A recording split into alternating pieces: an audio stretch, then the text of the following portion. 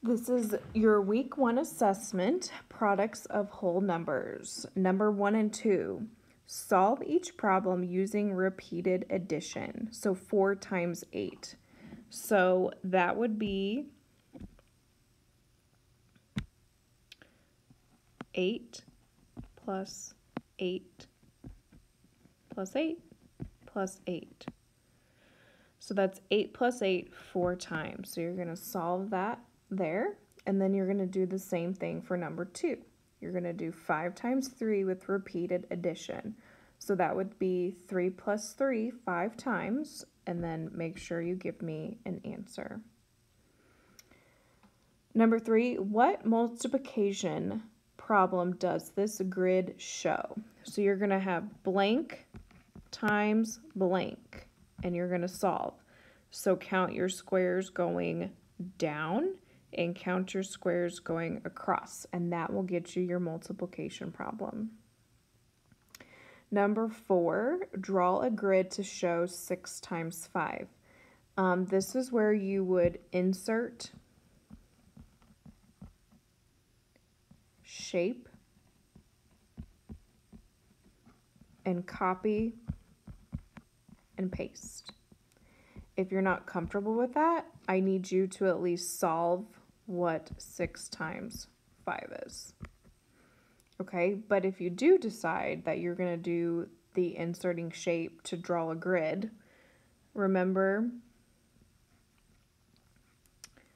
you're going to represent the multiplication problem. So 1, 2, 3, 4, 5. So I have 5 going down. And that means I would have 6 going across, and then you would fill it in from there. Number five, a small parking lot has eight rows with six spaces for cars in each row.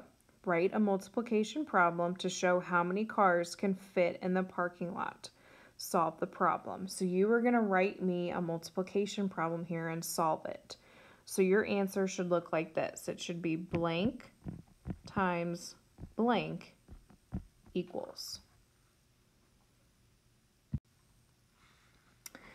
The directions for 6 through 10 say write prime or composite beside each number. If a number is a composite, write it as a product of two numbers. Do not use one as a factor. So you can definitely use your factor chart here if you need to.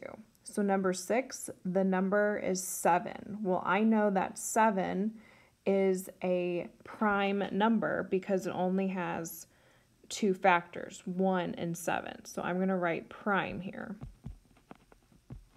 And 1 times 7 equals 7. But for example, number 7, for the number 9, I know that 9 has more than two factors. So 9 is a composite number. And I know that 3 times 3 equals 9. So you have to do both steps here to get the credit. You have to tell me prime or composite and solve the multiplication problem. 11 through 14, write all the factor pairs for each number. Again, just use that factor chart and you will get all of your answers that you need here. So for number 11, I know that 1 times 12 equals 12. I know that 2 times 6 equals 12. And I know that 3 times 4 equals 12.